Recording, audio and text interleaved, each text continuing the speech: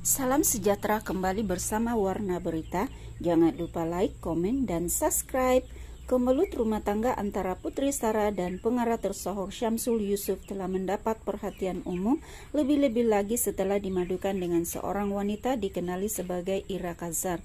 Putri Sarah telah menfailkan penceraian terhadap suaminya Isnin lalu dan prosiding pertama dimulakan pada 8 Maret 2023. Seperti hijab semua terbuka menurut live Instagram bersama bekas pengacara Muletop Nelova pelakon tersebut mendedahkan yang dia telah mendapat petunjuk dalam masa seminggu sahaja selepas melakukan sholat tahajud memohon petunjuk berkenaan rumah tangganya.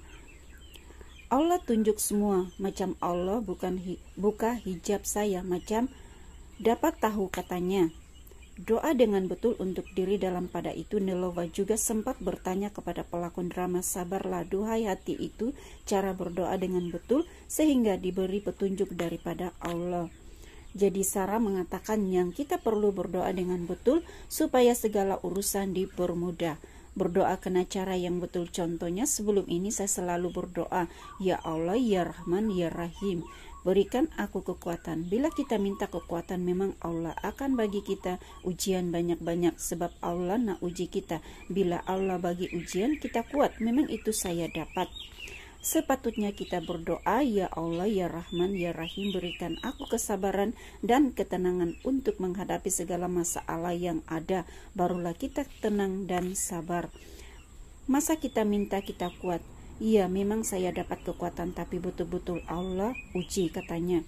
Untuk rekod Putri Sarah Liana telah menfailkan penceraian terhadap Syamsul Yusuf setelah selepas mengalami masalah rumah tangga sejak empat tahun lalu karena diganggu orang ketiga.